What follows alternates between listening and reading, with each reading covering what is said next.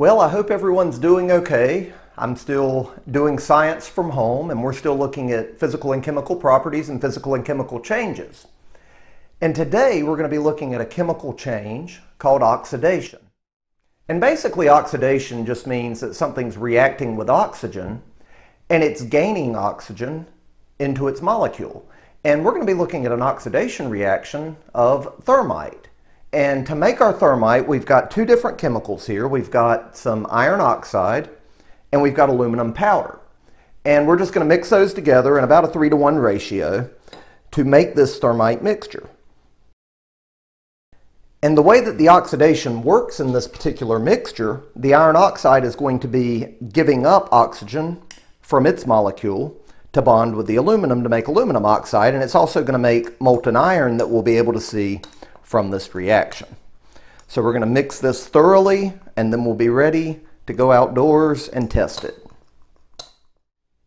Well, it looks like it's mixed up thoroughly, so what we have now is our iron oxide mixed with our aluminum powder. And right now a chemical change, a chemical reaction has not occurred. We've just mixed these two things together. We're going to have to take it outside, add some heat in order for the chemical change to take place. So let's go outside and we'll take a look at our chemical reaction of thermite. All right, well we're outside with our thermite now. And we're going to use some magnesium because we've got to get the thermite to a very high temperature to get it to ignite. But once it does begin to burn, you're going to see it's a very highly exothermic chemical reaction, meaning it's going to give off a lot of heat. You're going to see a shower of sparks. You're going to see molten material coming out the bottom, and that's actually molten iron. Where the iron oxide, as it gives up the oxygen, it's changing it to iron, it's melting it, and that iron's coming out the bottom. So we're going to light this, and we're going to move out of the way and watch the reaction.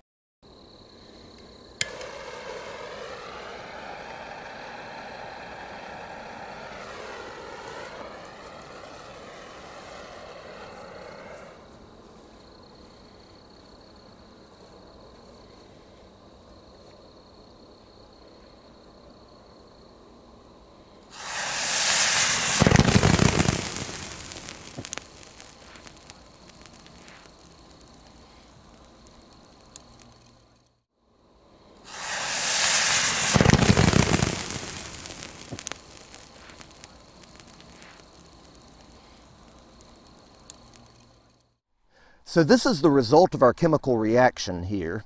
That thermite explosion that we saw is that oxygen from the iron oxide bonds with the aluminum to make aluminum oxide. It also gives off this molten iron. You can see it starting to, to cool here.